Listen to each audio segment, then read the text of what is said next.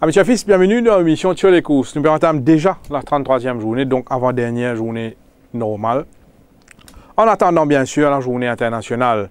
Cette semaine-ci, l'épreuve fort pour réunir seulement 5 chevaux. L'écurie Gazeta apparaît en force avec deux représentants. Le titre toujours en jeu. L'écurie Gazeta a un avantage assez conséquent, plus de 500 000 roupies d'avance. En cas de victoire de semaine protégée dans l'épreuve fort cette semaine, vous approche davantage au titre? La cinquième course, la sixième course, Diazot peut réunir seulement 5 chevaux. L'écurie Gazeta engage deux chevaux, Tandradi et Rame. Tandradi prenant le Soledo, Noël Calo, c'est le choix de Noël Calo, alors que Rame, qui a bien galopé la semaine dernière comme prévu, prenant le Soledo cette fois-ci, Rai Durawan. Tandradi, pas de bousculer en entraînement, il maintenir sous bonne forme, mardi, il travaille pratiquement sur le mot sans être bousculé, il réalise un strong canter. Il est toujours super bien, il bien encaissé ce dernier course. La dernière fois, moi personnellement, moi j'expecte qu'il soit un petit peu plus compliqué sur 1000 mètres, mais même si tu peux une 1000 mètres qui s'y paraît sharp pour ses aptitudes, il démontrer tout ce classe, tout ce grande forme pour y imposer avec autorité. Tandradi, pour dans la première ligne en son avantage, il maintenir dans une très belle forme, choisi par Noël Calo, donc il demeure quelque part le cheval à battre. Ban danger pour Tandradi, selon moi, son Rim, qui peut profiter de ce forme pour la deuxième semaine consécutive. La semaine dernière, il est échoué d'un fil et face à Ilbro.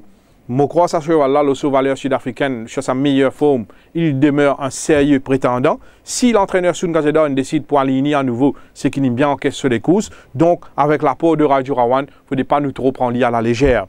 Les autres chevaux à inclure dans la combinaison sont Denis Brasco, qui reste un très bon finisseur et qui bien travaille mardi en compagnie de Living With Heart, et The Pieman, avec ce 53 kg, peut-être qu'il pourrait trouver seul devant, il va essayer un coup tactique, mais il faut bien bataille très très dur quand même pour la victoire. Vous pensez, moi personnellement, que l'écurie Gazeda, pour bien placer pour la victoire avec ses deux représentants, Tandradi et Rame, Tandradi, Rame, Denis Brasco et The Pieman pour le top 4, selon moi. Seeking Angelo, moi personnellement, je pense qu'il est capable de gagner une difficulté à ce niveau sur ce parcours. La première course sur 1365 mètres. Nous retrouvons un cheval qui s'est en net progrès la dernière fois, Brazo, battu de peu par Captain's Bounty. Deux foulées après, il de traverser Captain's Bounty. C'est un cheval qui nous retrouve nettement. D'ailleurs, il confirme son progrès à l'entraînement. C'est un cheval qui peut venir contre des chevaux qui paraissent à sa portée. Et moi, pensée, il est capable à nouveau figurer à l'arrivée.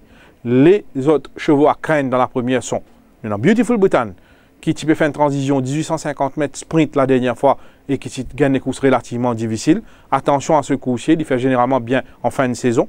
Nous avons aussi Captain's Chronicle qui a démontré, des gros progrès la dernière fois. D'ailleurs, il prend la deuxième place. Première ligne à son avantage cette fois-ci. Il paraît légèrement mieux au niveau de ses conditions. Attention à lui. Et bien sûr, vous allez inclure City Treasurer, City Treasurer qui failli surprendre ses adversaires la dernière fois sous la selle de Nouresh Jaglal. Cette fois-ci, et il prenant le des deux. Goumani, et Goumani qui peut monter en confiance, donc pas capable d'écarter activement. Brazo, Beautiful Bhutan, Captain's Chronicle et City Treasurer pour le top 4. La deuxième course sur 1000 mètres. La jument dont elle maman vise la passe de 3. C'est un coursier qui ne retrouve lui complètement. Il remporte une victoire relativement facile la dernière fois malgré sa ligne extérieure. 1000 mètres, d'ailleurs, en début de sa carrière mauricienne, il peut faire très très bien le 1000 mètres. D'ailleurs, 1000 mètres, pas de problème pour lui. Huitième nid, on get ce gate speed, il est capable toujours très bien faire malgré son huitième nid. Un danger pour lui, un danger éventuel sont Smithen avec ce premier nid. La dernière fois, il gagne des courses très difficiles, né au vent avec ce ligne extérieure. Cette fois-ci, la première ligne prend un avantage certain. It's My Party qui peut aligner avec les Blinkers pour la première fois, qui pas encore gagné au champ de Mars, mais qui quand même est un potentiel certain si nous guettons ce forme sud-africaine, si nous guettons un petit peu qui nous fait à l'entraînement ces derniers temps, pas capable d'éliminer pour autant. Et mon point inclure dans moment de combinaison Destiny Stale qui peut retrouver les Blinkers et qui peut revenir le parcours de prédilection et il dans la quatrième ligne. Attention à Destiny Stale. La troisième course sur 1400 mètres. Mes préférés sont nous avons Call of Courage de Gilbert Rousset. Call of Courage qui était très malchanceux en ligne droite la dernière fois. Il pas un parcours limpide. Il bien change de ligne en deux occasions au moment crucial de la course. Il perdit quelque peu de ce momentum. Call of Courage s'il répète une récente performance, définitivement, il prend un gros danger au finish. Nous, dans le last time winner, tête bassette, qui retrouve ses marques, après qu'il soit, entraîné, il réussit à régler un problème de santé, il réussit trouve un problème qu'il peut souffrir, il régler ce problème-là, coucher là, il bien accéléré la dernière fois, il est capable de répéter sa, sa performance-là. Nous avons Evergreen, qui trouve les 1500 mètres un petit peu long pour ses aptitudes la dernière fois, qui peut venir le 1400 mètres, qui est meilleur pour lui, s'il réussit à le devant du point de danger.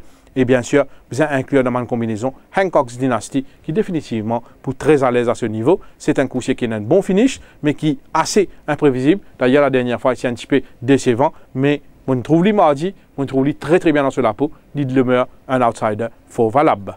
La quatrième course sur 1500 mètres, il un peu difficile pronostic contre Elite Class.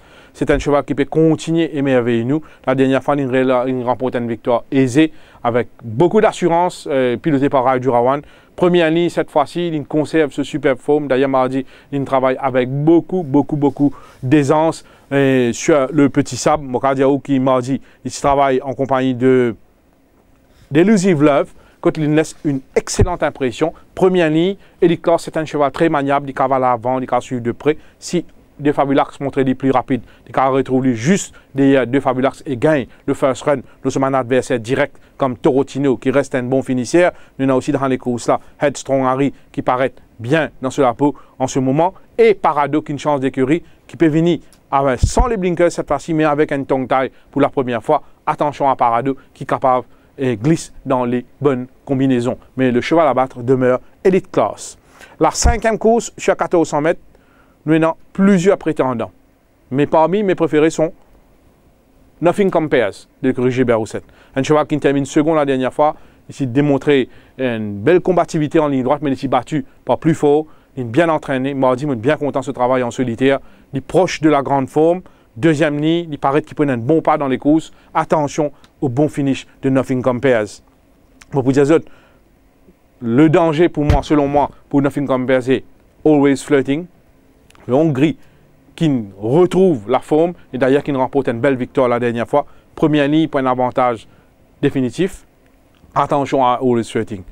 Lucky Valentine demeure un sujet très régulier. Il reste là deux victoires. Il peut venir après un petit break. Il est toujours bien dans la peau. Pas capable d'éliminer pour autant.